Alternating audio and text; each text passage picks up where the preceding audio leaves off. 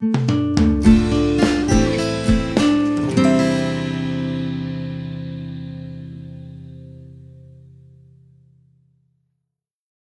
a todos, desde la santa ciudad de Jerusalén. Estamos en la yeshiva Huchel Chesed, hilo de bondad, dirigida por nuestro querido maestro y guía espiritual, el rabino Shalom Arush, que Hashem nos bendiga. Nos estamos acercándonos a un gran día. De hecho, el día que cambió todo este mundo. Y queremos prepararnos.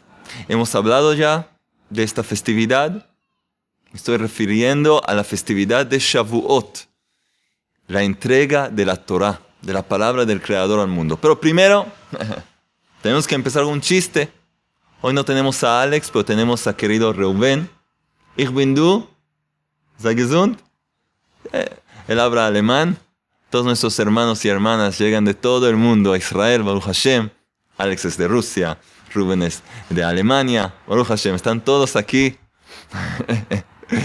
y bueno, entonces, vamos a empezar con el chiste. Había un hombre que era un fanático de automóviles, de coches, carros, como lo que le, llamen. Todo el día vivía pensando en automóviles. Eh, leía sobre automóviles, hablaba sobre automóviles y lo peor, soñaba con los automóviles. Parece que no hay ningún problema, pero sí, un poco complicado. ¿Qué pasaba? Cada noche la esposa se despertaba, se quedaba despierta casi toda la noche.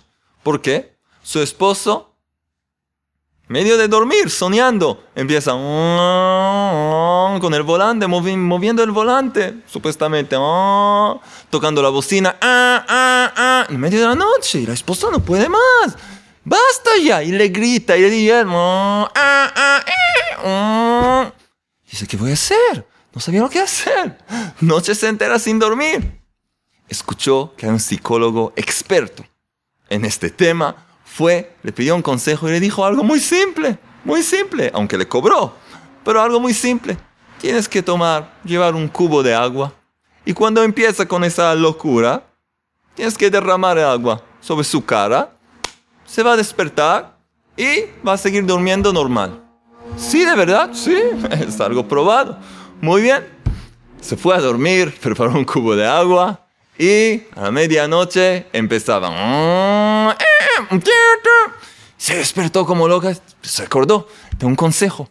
Tomó el cubo de agua y se lo derramó sobre la cara y el hombre, asustado, enseguida empezó a hacer así. El limpia parabrisas los encendió. ¿Entendieron? Rubén. Ahora en alemán. Ich bin du von der Bueno, hay que sentir el limpia, los limpia parabrisas. ¿Qué tiene que ver el chiste con esta charla? Que una de las costumbres más famosas, puede ser que no todos los conozcan, pero una de las costumbres más que la gente más conoce es quedarse despierto a lo largo de la noche de la festividad de Shavuot. En Israel se festeja una noche, en todo el mundo dos noches, pero siempre la primera noche todo el pueblo de Israel se queda despierto. No duerme, pero no por un, hombre aficionado con los automóviles, sino por algo muy, muy importante. ¿De qué se trata? ¿Qué dice la halajá, la ley judía? Dice así, algo muy interesante. Sí, la costumbre de la festividad de Shavuot, que es la entrega de la Torah, es el día en que se presentó el pueblo de Israel frente al monte Sinai para recibir la Torah. Habían llegado unos días antes, se prepararon y habían tres días de preparación más así más, eh, con más dedicación y llegó el momento que tenían que recibir la palabra del Creador, su libro, sus leyes de vida, para poder ser luz para las naciones, para traer a este mundo su finalidad. Y entonces pasó algo muy interesante. Pero antes vamos a ver lo que dice la halajá. ¿Qué dice la ley judía? Durante la noche de Shavuot hay que pasar esa noche despierto, toda la primera noche de la festividad, ¿sí? En todo el mundo, cualquier lugar del mundo, ¿sí? Como está escrito en el Sagrado Libro del Zohar, y quedarse despierto toda la noche estudiando la Torah. Y hay un libro especial que se llama Tikkun, Tikkun Lel Shavuot, el Tikkun de la noche de Shavuot. ¿Qué significa la palabra Tikkun? Algunos conocen esta palabra. Tikkun es rectificación, reparar, arreglar. Es decir, que en esta noche tenemos que rectificar algo, tenemos que arreglar algo. Algo no está como se debe. Hay que arreglarlo. ¿Qué? ¿De qué se trata? Muy, muy interesante. Escuchen bien. Entonces la halajá dice que la noche de Shavuot no nos vamos a dormir. si quieres, la víspera de Shavuot, mediodía antes de la noche de Shavuot, puedes dormir. Pero cuando llega la festividad, después de la puesta del sol, cuando salen las estrellas, Zeta hay una por supuesto, vamos a la Bet a la sinagoga, rezamos la plegaria de la noche y cada uno vuelve a su casa para hacer una cena, una comida festiva con canciones y alegría y palabras de Torah y después todo el mundo. Vamos a las sinagogas y empezamos el estudio del Tikkun Lel Shavuot. Entonces, ¿qué es eso? ¿De qué se trata? ¿Qué pasó? ¿Por qué? Estamos cansados. ¿Cómo podemos quedarnos la noche entera? Cuando termina la noche, a la madrugada empezamos la plegaria matutina de la mañana y después volvemos a casa para otra comida festiva y después cada uno puede ir a dormir un poco. Muchos se quedan despiertos y siguen estudiando la Torah. Ok, entonces, ¿qué pasa aquí? ¿Por qué? ¿Qué pasó? Escuchen algo muy interesante. El Midrash comentario antiguo. ¿Qué es un midrash? Un midrash es como más información, información extra de lo que está escrito en la Torah escrita. Es parte de la Torah oral, entregada de un maestro a su discípulo, de un padre a su hijo, con perfección, sin ningún cambio, desde la entrega de la Torah en el monte Sinai. En el monte Sinai, el creador del universo, el rey del universo, entregó su Torah, su ley, las leyes de la vida Dos formas, en dos formas. La ley escrita, que es lo que conocemos como la Torah, y la ley oral, que son explicaciones. Y, de hecho, echan luz sobre los preceptos que están en la Torah, los acontecimientos escritos en la Torah, nos revelan mucho más. Entonces el Midrash, este comentario antiguo, nos cuenta algo muy interesante. Vamos a leer. Vamos a leer el Midrash. ¿Dónde se está escondiendo el Midrash? Aquí está. Muy bien. Nos cuenta el Midrash, está en el Midrash de Shira Shirim Rabbah. ¿Sí? Uno, ¿sí? En la, parte 12. Y dice así. Dijo Rabbi Yodan, o Yoden. Algunos que dicen así, dicen así. ¿Qué pasó? En el tercer día, después de tres días de preparación, que son de hecho tres días de 49 días de preparación, porque hemos aprendido juntos que desde la salida de Egipto, lo que festejamos en la festividad de Pesach, y hasta la festividad de Shavuot, tenemos 49 días de preparación, el día 50 es Shavuot. Es decir, 49 días de preparación que el pueblo de Israel se purificó de lo que se llama 50, 49 portones de impureza salieron de esas puertas de impureza, de esas fuerzas de impureza que cayeron sobre ellos en Egipto, en el lugar de idolatría y lujuria, el peor lugar del mundo en esa época. Y en cada día entraron en un nuevo portón, en una nueva puerta de santidad y purificación, pureza. En el día 50 ya era algo más más allá de todo, la entrega de la Torah, que es representada como una princesa, como una princesa, como si fuera que el Creador da su hija a su pueblo. Otra forma de expresarlo es como la boda del Creador con la reina. La reina es el pueblo de Israel. Representa a la reina. Y la Torah, ¿sí? Es el contrato matrimonial, las obligaciones de uno al otro. Muy bien. Ok, entonces, 49 días de preparación. Tres días que se llaman los tres días de Agbalá, limitación, que se hacía más preparación. Y no se podía acercarse al monte Sinai. Se lo podía, tenía, cada uno tenía que mantenerse de lejos.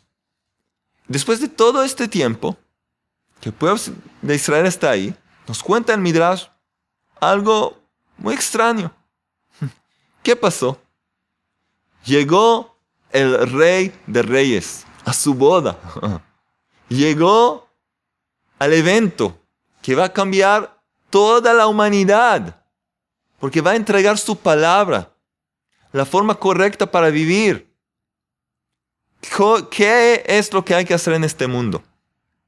La finalidad de nuestra existencia se encuentra ahí. ¿Y cómo lograrla? ¿Y cómo difundirlo? Este conocimiento por todo el mundo. Viene a entregar ese conocimiento. Viene a unirse con su pueblo. ¿Y qué descubre? No van a creer.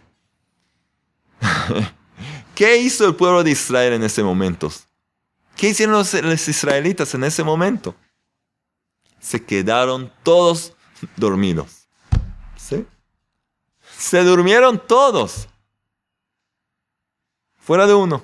Moisés, Moshe Rabenu, el líder de Israel, estaba despierto, pero fuera de él, todos durmiendo.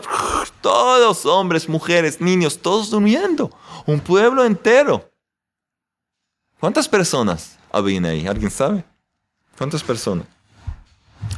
La Torah nos dice, Shishim Ribo. ¿Qué es Shishim Ribo? 600 mil, 600 mil, 600 mil. Pero hombres entre los 20 años y los 60 años. Entonces, 600 mil hombres entre 20 y 60 años, es decir, que además de ellos, cada, en esa edad, cada uno estaba casado, tenía hijos, que con las mujeres, que con los más viejos, los de que pasaron los 60 años. En otras palabras, habían unos millones de judíos, unos millones de israelitas esperando para la entrega de la Torah y todos durmiendo. sí, una sorpresa, ¿no? ¿Y qué pasó? El creador los encontró durmiendo a todos. Durmiendo. ¿Y qué hizo entonces? El Creador llegó primero al monte Sinai, tal como afirma el versículo, en el tercer día en la mañana, ¿sí? Y todos estaban dormidos, durmiendo, toda la noche. Y dice el Midrash algo muy interesante. ¿Saben por qué estaban durmiendo? Porque el sueño en esta noche es muy dulce y agradable. Y la noche es corta. Por eso se durmieron. No entendemos nada. Tenemos que explicar todo. ¿Sí? Y Rabiuden, Rabiudan dice, hasta ni siquiera las pulgas, los mosquitos, el Talmud, el Mirad dice un animal, que hoy lo reconocemos que es una pulga o un mosquito, ni siquiera las pulgas o los mosquitos los picaron. Había algo sobrenatural en el desierto por la noche. Y si hay un poco de luz, es un campamento. No se acercaron a nadie, no los tocaron, podían dormir como se debe. Dios llegó y los encontró dormidos y comenzó a despertarlos con tal como dice el versículo. En el tercer día, en la mañana, hubo voces y truenos. Pero nada. Al final envió Dios, creador, envió a Moisés, que despertó al pueblo y los llevó antes ante el rey de reyes, el santo bendito es, el santo bendito sea, para recibir la Torah. Así nos cuenta el Midrash. Y la verdad no se entiende nada. Primero, ¿cómo puede ser que un pueblo que salió de Egipto, del lugar más impuro del mundo, de ser atacados y burlados, esclavos, salió de ahí hacia la libertad. Y nos explican los sabios que la verdadera libertad no fue salir del país de Egipto, sino era ir y recibir la Torah, que esa es la verdadera libertad. Recibir la palabra del Creador, servir al Rey de Reyes, que esa es la finalidad de cada ser humano, y no servir a alguien de sangre y huesos, al faraón. Entonces, como un pueblo que salió de ahí y 49 días se preparó cada día con todas sus fuerzas para quitarse la impureza y recibir santidad. Y luego tres días de más preparación, de pronto un pueblo entero de millones se durmió. Todos, todos durmiendo. ¿Cómo puede ser? Si nos dicen los sabios, nos dicen que desde el momento que el pueblo de Israel salió de Egipto, ¿qué hicieron? La cuenta del hombre, hemos explicado eso. Nuestra charla, crecer día a día. Cada día contar un día más, y dos días más, y tres días más. Contar los días hasta que llegara ese momento de la entrega de la Torah. Contaban los días por tanta, tantos anhelos, por tanto querer llegar a ese momento de conectarse con el Creador. Cada día lo contaban, hoy es el primer día, desde la salida de Egipto, es el primer día del Homer, hoy es el segundo día, hoy es el tercer día, cuarto día, hasta llegar al día 50, que es la entrega de la Torah. Tanta preparación. Se dice que tenían una pasión de poder llegar y recibir la Torah. ¿Cómo es que se durmieron? Y la pregunta es aún más fuerte. Porque desde que llegaron al monte Sinai, nos revelan los sabios que lograron, los israelitas lograron un nivel espiritual tan elevado que hasta la mala inclinación, el Yetzarará, el instinto del mal, desapareció. Los dejó. No podía tolerar su santidad, su nivel espiritual. Es, decir, que ya no tenían Yetzarara, mala inclinación. No que se durmieron porque eh, quiero descansar un poco de este mundo, de los problemas. No, hay que entender lo que pasó aquí. Esta es la primera pregunta. La primera pregunta. Y además, otra gran pregunta. Toda la finalidad de la salida de Egipto, del Éxodo, fue para llegar a este momento. Una persona cuando espera algo, ¿sí? sabe que mañana va con, con la escuela, con el trabajo, va a un paseo, no se puede dormir. ¡Ay! Que yo no, no pierda el bus. Salimos a las 6 de la mañana, tengo que estar despierto, tengo que prepararme. Lo peor que me quede dormido. ¿Qué pasó? Esa es otra pregunta. Y otra pregunta más.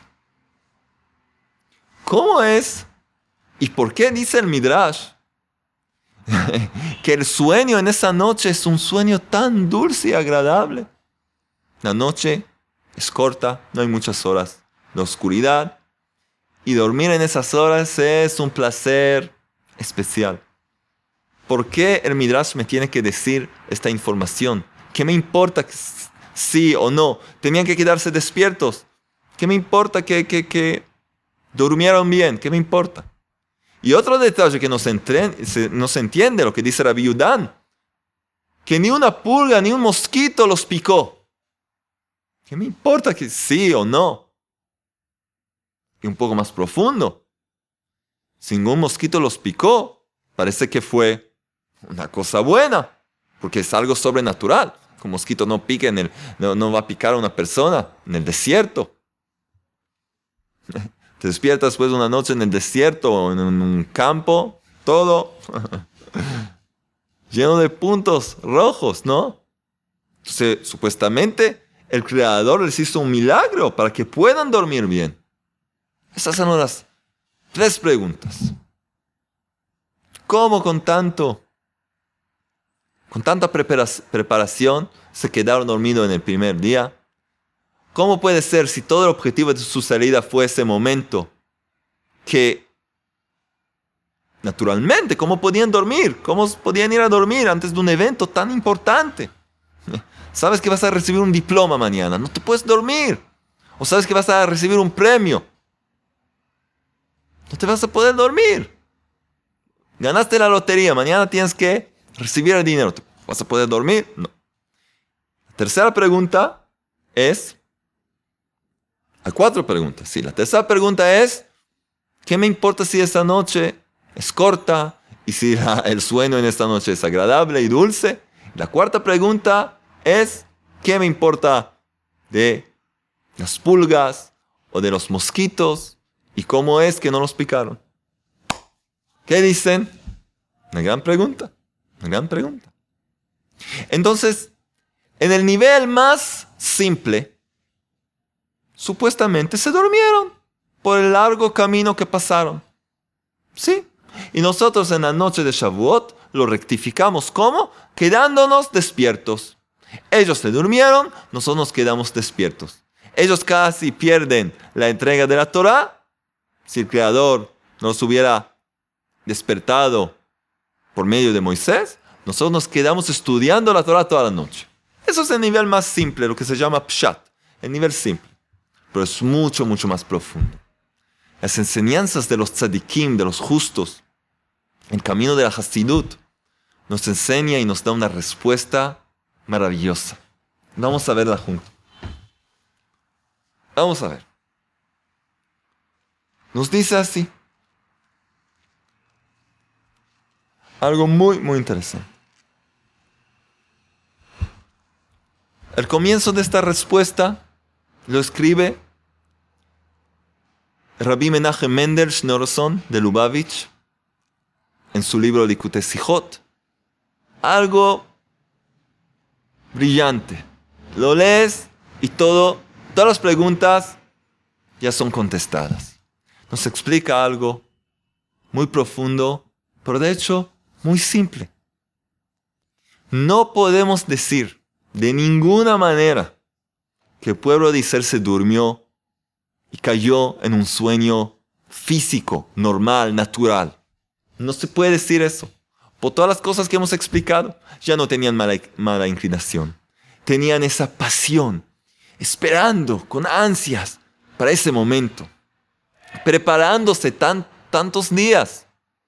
No hay ninguna posibilidad que se durmieron como nosotros nos dormimos después de un día largo. Por supuesto que no. Eso es por supuesto que no. Y nos dice algo increíble. Eso que el pueblo de Israel se durmió fue intencional. Se fueron a, dormir con la intención de dormir. Agrega otra maravilla más. ¿Cómo puede ser? Sí, se fueron a dormir a propósito. Se fueron a dormir. ¿Por qué? Nos explica algo fantástico. Antes de la entrega de la Torah, los patriarcas, Abraham, aquí están las pulgas, del desierto, los mosquitos llegaron. Hace mucho calor hoy. Bueno, que no me piquen, que haya un milagro. No le gustó que le conté sobre sus hermanos que no picaron al pueblo de. Bueno, entonces los patriarcas, Abraham, Isaac y Jacob, Abraham, Isaac y Jacob, esos patriarcas, las matriarcas, Sarah, Rivka, Rachel y Lea. Y luego, el pueblo de Israel, hasta que se formó y llegó a ese momento en la historia humana que van a recibir la Torah, ¿qué hicieron? Lo que, lo que querían, no tenían ninguna responsabilidad, no tenían ningún precepto que cumplir. Uf, no tenía nada. ¿Qué? Entonces, nos revelan los sabios que no. Nuestros patriarcas cumplieron con la Torah entera antes de que fue entregado al pueblo de Israel. Todavía no recibieron la Torah, pero ya cumplieron todos los preceptos de la Torah. Así dicen. ¿Cómo puede ser? ¿Cómo puede ser? ¿Qué hicieron? La Torah dice que, uno tiene que colocarse los tefilín. ¿Sí? ¿Qué se hace? Las filacterias. ¿Cómo se los prepara? La Torah dice. ¿Cómo ellos podían saber? Hay que hacer en Sukkot. Hay que construir cabañas. Hay lleno de preceptos que hay que cumplir. Y ellos lo cumplieron todo. ¿Pero qué? No en una forma física. No con ninguna cosa material. Con lo que se llama kavanot. ¿Qué es kavanot? Son pensamientos e intenciones especiales. Cierta meditación con letras antiguas, con distintas eh, distintos nombres del creador. El creador tiene varios nombres, cada nombre representa uno de sus atributos divinos. Meditando en esos nombres, y así podían lograr el efecto, el resultado, mejor dicho, del el cumplimiento de los preceptos que la Torah explica cómo hacerlos. Ellos sabían lo que tienen que lograr, lo que tenían que lograr, pero no lo podían cumplir físicamente. Entonces hacían todo su, todo su trabajo espiritual. Era algo metafísico, algo de nivel de pensamiento, de meditación. El pueblo de Israel eso es lo que conocía hasta aquel entonces. ¿Y qué hizo el pueblo de Israel? Es sabido, escriben los libros, libros de Kabbalah y de Hasidut. Sabemos que el hombre está compuesto de dos opuestos. Hashem lo creó así, el rey del universo lo creó así. De un cuerpo físico mundano que se atrae a todo lo mundano y de un alma divina que solamente quiere el creador, quiere lo espiritual. Ahora, hay una lucha entre los dos, entre el cuerpo, el cuerpo y el alma. ¿Sí? Entonces, ¿qué pasa? Cuando la persona se va a dormir, nos dicen los sabios que el sueño representa una parte de la muerte. Es como dejar este mundo. La persona duerme, después hay varios niveles en el sueño. Cuando llega a un cierto nivel, pasa algo. El alma deja el cuerpo, ¿sí? Y sube a los mundos superiores. Sube al cielo y el cuerpo se queda con una parte, una chispa de nefesh, como un pequeño motor que cuida que el cuerpo siga viviendo, porque lo que le da vida al cuerpo es el alma.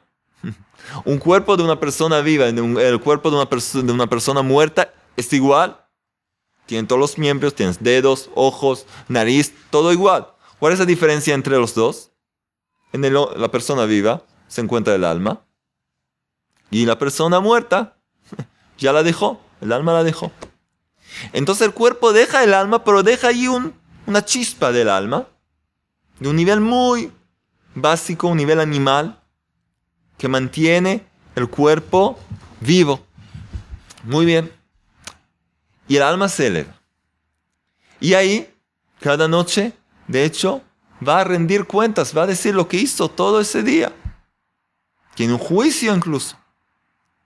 Pero los tzadikim, los justos, lo que ellos pueden lograr por medio de dormir, y no necesitan mucho tiempo, es algo increíble. El alma deja el cuerpo. Ya no está limitada por el cuerpo. Entonces puede estudiar en el lugar que se llama Yeshiva Shel Mala, la casa de estudio del cielo. Es un lugar, es un lugar sobrenatural. Es en el cielo, el paraíso. Puede estudiar ahí con las almas los patriarcas, las matriarcas y recibir los secretos de la Torah. Muy bien.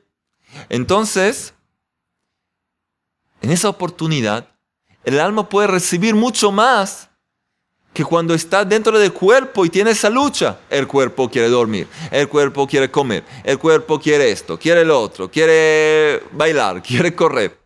Y el alma quiere estudiar Torah, quiere brillar más, llenarse más. Entonces lo que pasa es que cuando la persona duerme, si tiene un nivel espiritual bastante alto, puede lograr y estudiar Torah mientras duerme y recibir hasta secretos elevados de la Torah. Se cuenta de muchos tzadikim que cuando tenían una pregunta no podían entender una alajá, una ley judía, cómo se la aplica en una cierta situación. Entender un versículo que parece que está, que, que no se lo puede entender por otro versículo una contradicción, algo ahí le molesta. Rezaba por eso. Se iba a dormir, por la mañana se le caía dentro del cerebro la respuesta. Después de dormir, no porque recibió, se renovó energía, nada que ver, una respuesta con explicaciones. Y luego fue, abrió los libros y vio que así era. Recibió una respuesta del cielo. Hay también una cosa que se llama She'elat Halom, una pregunta que se hace en el sueño. Muchos tzadikim, antes de ir a dormir, entregaban, mandaban, enviaban una pregunta al rey de reyes y una pregunta sobre la ley judía, sobre la Torah, y esperaban recibir una respuesta. Recibían una respuesta que se acordaban cuando se despertaban, tenían un cuaderno y enseguida lo escribían Después abrían los, abrían los libros y veían, esa es la respuesta que estaban buscando. Es casi lo mismo, hay algunas diferencias. Bueno, de cualquier manera vemos que el cuerpo es algo que limita el alma. El pueblo de Israel, después de 49 días de preparación, de salir de un estado sofocante, tan fuerte de impureza, y lograr cada día otro nivel y otro nivel de santidad, decidió. Le parecía que era lo que tenían que hacer. Los israelitas pensaban que eso es lo que tenían que hacer, como lo hicieron los patriarcas, que tenían que irse a dormir y dejar que el alma pueda subir al cielo y ahí recibir al rey de reyes y su Torah, dejando el cuerpo atrás. El cuerpo se queda durmiendo y el alma se eleva y asciende al, cielo, puede recibir la Torah. Eso fue el plan del pueblo de Israel, nos explica el Rebe. Y dice, esa fue parte de la preparación, de hecho fue la preparación final para recibir la Torah. Entendieron que al poder recibir la Torah, que es la palabra del Creador, que es toda espiritualidad, tienen que dejar el cuerpo atrás. Y si es así, ahora también podemos entender por qué no los picó ningún mosquito. Porque era una buena cosa. Era una buena cosa. El Creador los dejó hacer eso. Les dejó dormir bien. Pero hay la pregunta, si los dejó dormir, ¿por qué después los despertó? Seguida vamos a entender. Y otra cosa más. Esto también contesta las primeras dos preguntas, pero también la tercera pregunta, la que, ¿por qué nos dicen los sabios que esta noche es una buena noche para dormir, es una noche corta? Explica Rebe algo muy interesante. Dice así, vamos a leerlo. Dice que la purificación que logró cada uno del pueblo de Israel, lo llevó a un estado espiritual en que la oscuridad se achicó, casi desapareció completamente. La noche es corta, Es decir, que ese periodo de oscuridad, de, una, de un estado en que no ves y no entiendes lo que está pasando, se hizo muy pequeño. La noche se cortó. Se achicó, supuestamente. ¿Sí? Y ellos lograron apegarse. Lograron que su alma se apegue, pueda apegarse con los mundos espirituales superiores, lo que es algo muy dulce y agradable. Esta es la explicación. Por eso, si no, ¿qué me importa? Que la noche es corta, que eh, dormir en esta noche es muy agradable. Eso no, no, no me explica nada, sino que me explica que su nivel espiritual les hizo, por medio de ir a dormir en esta noche, eso es lo que sintieron. Lograron hacer que la oscuridad sea muy pequeña, muy corta, y que puedan sentir la dulzura de lo espiritual. ¿Sí? Y ahora explica una cosa más con los mosquitos, que cuando una persona llega a un cierto nivel espiritual tan elevado, tan elevado, entonces los animales, los bichos, se asustan de él.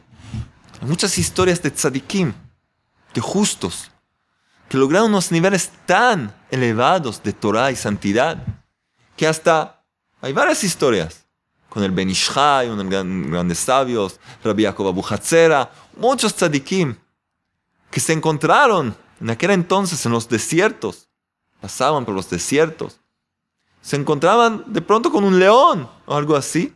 El león se asustaba de ellos. Veía su forma, su luz, su brillo y se asustaba. O que se agachaba y bajaba la cabeza. El rey de los animales, ¿no? Bajaba la cabeza frente a ellos. Cuando el animal puede atacar a la persona, puede dañar o lastimar a la persona, nos dicen los sabios, cuando en la persona todavía hay una parte animal, cuando todavía no logró santificarse completamente. Es un trabajo de vida, es un trabajo de vida, que nadie se asuste, que nadie diga, ay, me picó un mosquito, qué malvado soy. No, es algo normal, estamos tratando.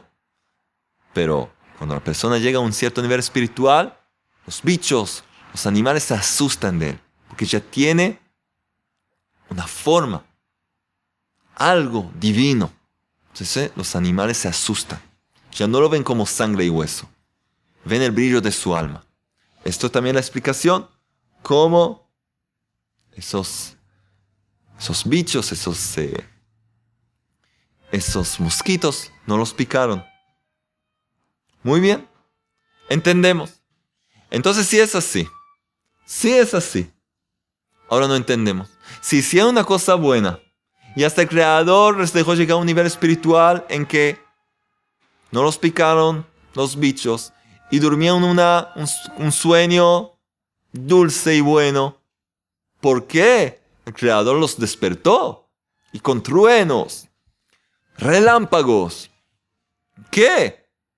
Está escrito voces y, rayos. ¿Por qué? Y tampoco ayudó hasta que Moisés, hasta que el Creador lo envió a Moisés para despertar al pueblo de Israel. ¿Saben por qué? Escuchen la respuesta. Increíble. Dice así. Vamos a verlo. El Creador, de hecho, quiso enseñarle al pueblo de Israel y a cada uno de nosotros, a cada uno de nosotros, algo muy, muy importante. ¿Qué quiso enseñarnos? ¿Qué quiso enseñarnos? Toda la finalidad, toda la meta, todo el objetivo de la entrega de la Torah, ¿qué es? Desconectarnos de este mundo, elevarnos, vivir en las montañas quizás, no tener relaciones, ningún contacto con los demás seres humanos, apartarnos completamente de la humanidad. No, en absoluto, no, no, no. Y ese es un gran error que mucha gente hace, Porque este concepto, esta idea, llega de otras religiones, falsas creencias, que piensan, dicen, eh, el creador es divino, es kadosh, es apartado. Entonces, la persona tiene que dejar este mundo, meditar y llevar su conciencia a otro mundo y no tener nada que ver con este mundo. Y todo tipo de cosas como esto. Le está prohibido casarse, no puede tener hijos, tiene que ser completo. No, al contrario, al contrario. Tiene que vivir en este mundo. La Torah nos enseña. Tenemos que vivir en este mundo con todas las limitaciones, los problemas, la oscuridad que aún existe. ¿Pero qué? Tenemos que hacer paz entre el cuerpo y el alma. Tenemos que ver cómo el cuerpo puede servir el alma y no al revés. La mayoría de la gente hoy en día, su alma sirve al cuerpo. Esa vitalidad, esa fuerza de vida que tiene, que llega por medio del alma, la usa para qué? Para hacer cosas que están en contra de la voluntad divina, en contra del plan divino, de lo que quiere el Creador. Tenemos que hacer que el cuerpo sea quien es de hecho el siervo del alma. Es el vehículo con el cual el, alma puede viajar y lograr lo que tiene que lograr y llegar a donde tiene que llegar. Y eso es lo que quiso el Creador enseñarnos en esa gran noche que tenemos que repetir cada año en esta festividad. Enseñarnos exactamente esto. Yo no quiero un hombre que no vive en este mundo. Tengo bastante ángeles, dice el Creador. Tengo bastante, suficiente ángeles que me alaban, que me cantan. Yo quiero ver un ser humano de sangre y hueso, con todas las tentaciones, con todas las luchas, los retos, las adversidades, que Él usa, utiliza la fuerza de la Torah para servirme. Yo quiero que ustedes logren santificar lo material elevar lo físico y llevarlo también a un estado de santidad. Elevarlo. Llevarlo mundano y hacerlo sobrenatural. En usarlo en una forma que te conecta a tu finalidad. Y eso es lo que vemos en las mitzvot, los preceptos que la Torah nos enseña. ¿Qué hacemos de hecho? Usamos cosas materiales lo que los patriarcas, como hemos dicho antes, no los tenían. Hemos dicho ejemplos. Las filacterias, tefilín, es de cuero. Lo ponemos cada mañana. Los varones. El talit, el manto, de rezo, ¿sí? De lana. Usamos cosas materiales. En Sukkot tenemos arbata minim, cuatro especies. Usamos eh, sidra, es el etrog. Es una fruta. Lo usamos para cumplir con una mitzvah, un precepto divino. Utilizar lo mundano, las cosas que hay en este mundo para elevarnos. Casarnos. Y a través de tener una relación de hombre y mujer, lograr perfeccionar nuestro carácter. Saber renunciar. Saber cómo dar. Aprender de divosidad. Aprender a honrar. Aprender a vivir juntos y lograr una meta juntos tener hijos, traer vida a este mundo. Eso es lo que quiere el Creador de nosotros. Utilizar lo material y elevarlo. Elevarlo. Por lo tanto, el Creador dijo a Moisés, muy bien lo que están haciendo, entiendo lo que quieren hacer, pero eso, esa no fue mi intención. Mi intención ahora es no tener más ángeles. Yo quiero tener seres humanos, yo quiero que mi pueblo, los judíos, sean un ejemplo de cómo un ser humano puede elevarse. No por medio de dejar todo lo material, sino llevar lo material junto a Él y santificarlo. Y elevarlo y usarlo para bien. Es de hecho darle un nuevo propósito a lo material. Es tan importante esto. Es tan importante esto. Porque cada cosa que hay en este mundo se la puede usar para bien o para para el mal. Es como energía atómica.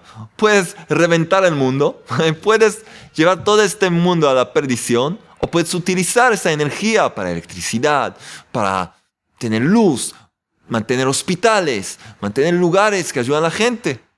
Depende de ti. Dos opciones. Como dice el Creador, yo les doy aquí dos opciones. La Torah puede ser el árbol de la vida o puede ser un veneno mortal.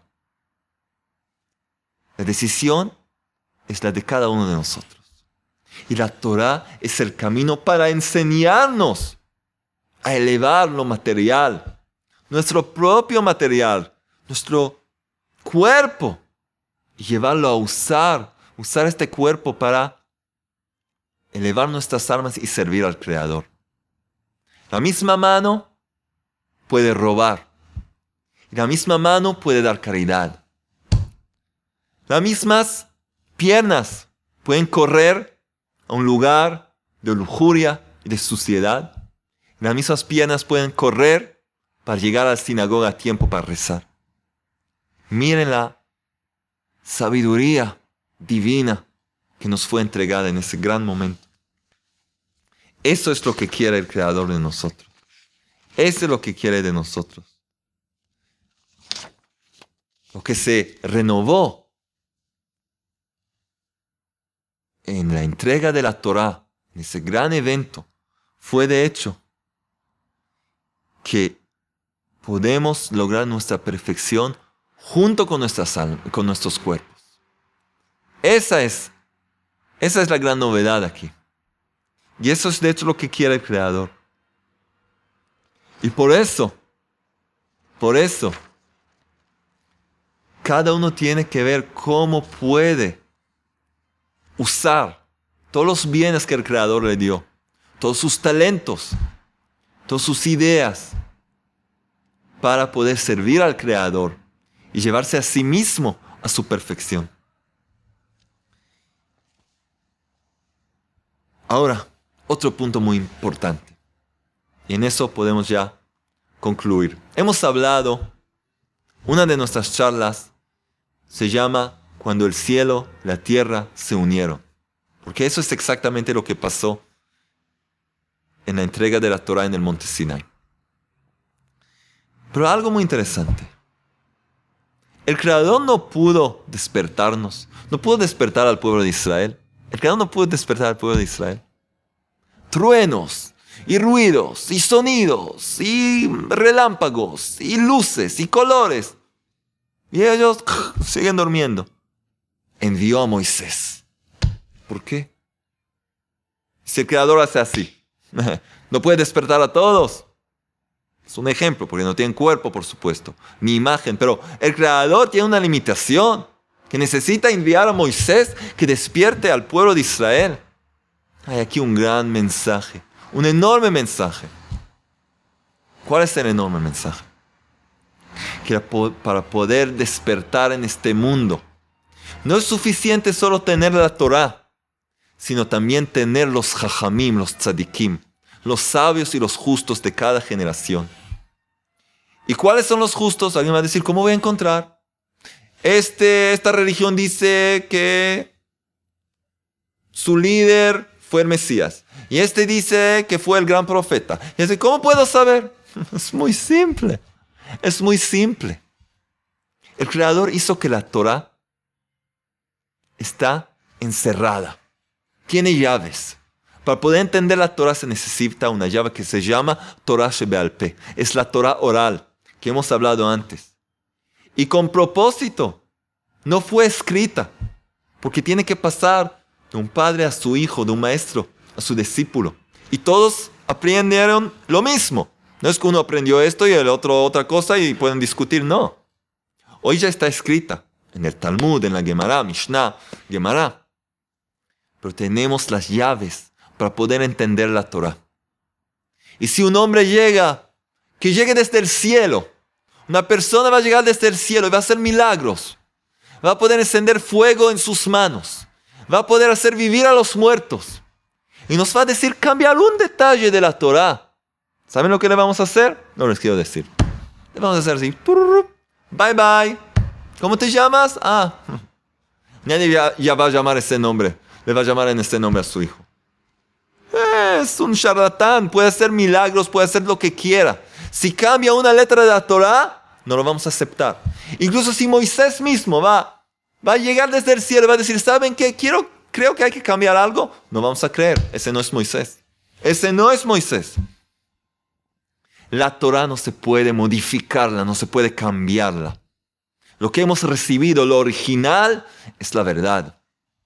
Sin agregar nada, todo tipo de ideas, todo lo que tenemos hoy en la Torah, en la Torah oral, y todos los distintos niveles de la Torah, y la Kabbalah, y la Hasidut, y todo, todo llega y está basado en la Torah. Ninguna novedad, ninguna nueva idea, ningún personaje puede llegar y decir, no, yo, yo no vine a cambiar nada, pero, y cambia todo.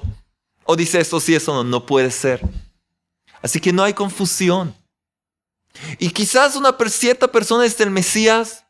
De verdad, muchos dicen. Si no todos los sabios de Israel lo van a reconocer y le van a dar la corona, puedes estar tranquilo. ¿Te ocupas en saber quién es el Mesías? ¿A quién le importa quién es el Mesías? Cuando va a llegar todos van a saber. Todos van a saber. Y hemos hablado de esto en la charla el nombre del Mesías y dónde estás, Señor Mesías. Hemos hablado de eso, pero es una cosa que todo el tiempo se repite. Con los distintos movimientos mesiánicos y todo tipo de cosas, la gente se confunde. Tontería. La verdad es una sola, dice Rabbi Nachman. Mentiras hay muchas. La verdad es una sola. Y nadie puede tocar la Torah. Nadie puede tocar la Torah. Eso es algo que hay que saber. Eso es algo que hay que saber y tener esa seguridad que este es el camino. Para el judío, este es mi camino. Para el no judío, tiene también su camino basado en la Torah, los siete preceptos universales, los preceptos de Bnei Noach, preceptos noágidas. Todo está escrito en la Torah. Tenemos, tenemos nuestros maestros, que ellos reciben aprobación de los maestros que llegaron antes que ellos. Y así en generación a generación la Torah pasa de un maestro a otro. Nadie puede de pronto llegar y empezar a contar cuentos. Y la Torah nos enseña que necesitamos apegarnos a esos tzadikim, los verdaderos justos de cada generación que nos enseñan cómo aplicar la Torah en nuestra vida diaria. Moshe Rabenu nos entregó, el Creador nos entregó a través de Moshe Rabenu la Torah escrita y la Torah oral, todas las leyes. Más adelante llegó había muchos justos en el camino, pero llegó Rabbi Shimon Bar Yochai, que nos entregó el sagrado libro del Zohar, los secretos de la Torah, más explicados. Luego llegó el Arizal, Rabbi Tzchak Ashkenazi, y reveló los secretos de la Kabbalah, todo basado en el Zohar, en las escrituras de Kabbalah. Luego el Baal Shem quien fundó el movimiento de Hasidut, que llevó los conceptos de Kabbalah y nos enseñó cómo aplicarlas en la vida diaria. Luego llegó Rabbi Nachman de Breslev, nuestro gran maestro, que nos lleva hasta los consejos más simples y prácticos de cómo llevar esta gran sabiduría y poder vivir con alegría y cumplir la Torah. Y en el medio, varios tzadikim más, varios grandes justos y tzadikim y sabios. Esos son solo, solo unos ejemplos de grandes personajes que abrieron una puerta más, pero no renovaron nada. Todo ya fue escrito, sino que dieron un enfoque para la generación precisa en que vivían para guiarnos. El Creador lo envió a Moisés para despertarnos, para enseñarnos que podemos, puede ser una persona estudiosa de la Torah, si no está conectada con un tzadik, con un verdadero justo, que recibió de otro verdadero justo, y él de su maestro, y de su maestro, y de su maestro, hasta Moisés en el monte Sinai, esta persona está perdida. Tiene una información, como alguien estudia en la universidad.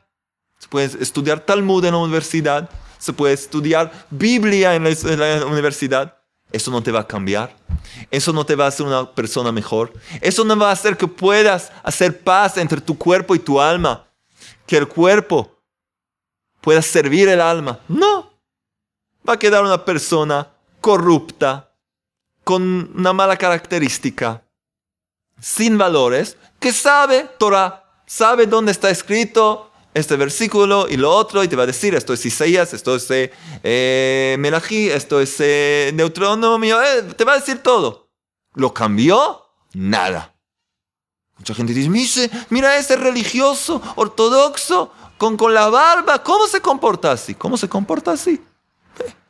Tiene información de Torah, pero no la cumple, no la vive, no está conectado con un líder que lo lleve al cumplimiento verdadero de la Torah. Y ese es el gran secreto de lo que pasó en Shavuot. El Creador nos mostró que tenemos que estar conectados con un tzadik, con un justo de la generación que nos enseñe el camino de la Torah. Nos enseñe el camino de la Torah. Y cada uno tiene que rezar día y noche hasta que pueda encontrar un líder verdadero, reconocido, que tiene la aprobación de todos los grandes rabinos, para saber, este es mi maestro, yo sigo sus enseñanzas, él me enseña la Torah. Si no, está perdido, está perdido. Y aún peor, puede transformarse en un falso rabino. Muy fácil hoy en día recibir un título de rabino, muy fácil. Con dinero o con ah, hablar ahí. ¿eh? Muy fácil escribir rabino, rebi, papá. Muy fácil. Eso nos dice que estás conectado, nos dice, esta persona puede querer dinero, fama, todas las cosas del mundo, todas las cosas del mundo, del cuerpo. Nada que ver con Torah. Y enseña y habla muy bien, pero no tiene nada que ver. Y la persona, ¿cómo puede saber? Siente que no genera, no, no pasa, no lo lleva a un verdadero cambio. Esa es la gran enseñanza que nos dio la Torah la entrega de la Torah a través de Moisés, tenemos como conocer y ser guiados por el camino hacia el Creador. Y por lo tanto, esta noche de Shavuot no vamos a dormir.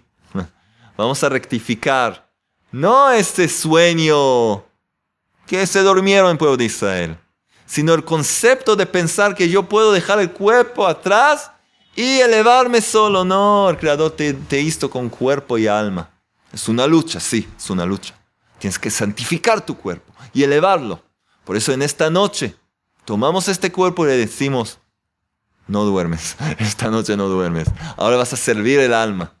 Vas a estudiar Torah con el cuerpo, con las manos, en voz alta, aprendiendo y hablando para rectificar ese servicio divino que hicieron nuestros antepasados, pero no fue lo que el Creador quería. Quería que sepamos cómo elevar este mundo físico y llevarlo a la perfección, perfeccionar este mundo por medio de la Torah que nos es enseñada por medio de los verdaderos tzadikim, los verdaderos justos, que son de hecho una chispa del alma de Moisés que en cada generación, como dice el sagrado libro del Zohar. Que Hashem nos ayude poder lograr en esta gran noche una gran elevación y conexión con el Rey de Reyes, el Creador del universo, y poder recibir sobre nosotros el yugo de la Torah, que es lo más dulce que hay, lo más... Es lo mejor que hay en el mundo. Conectarte con la fuente de todo, la fuente de la vida, y darte las herramientas para seguir adelante y servir al Creador y llegar a tu perfección y así perfeccionar el mundo entero y llevarlo a ese gran día que esperamos de la reconstrucción del sagrado templo aquí en Jerusalén con la llegada de nuestro recto y verdadero Mashiach rápidamente y en nuestros días. Amén.